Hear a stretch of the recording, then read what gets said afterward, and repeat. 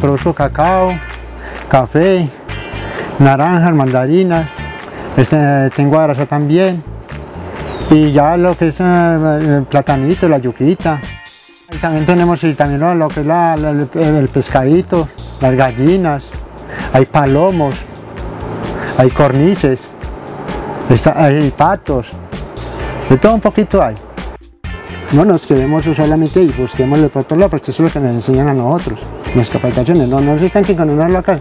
Muy bueno tener un poquito de una cosa, otro poquito de otra. Vamos escalando. Es una empresa familiar, sí, porque ya, primero una, una finca.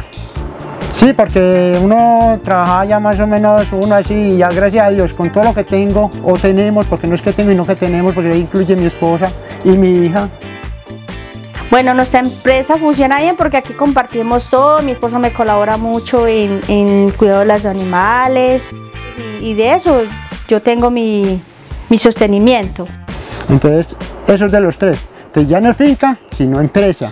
Es nuestra empresa de la familia. La empresa de la familia, es la de nosotros. Gracias a Dios mi empresa me ha dado para subsistir. Todos mis gastos me ha dado gracias a Dios. Soy muy feliz con mi empresa. Nos sentimos dichosos.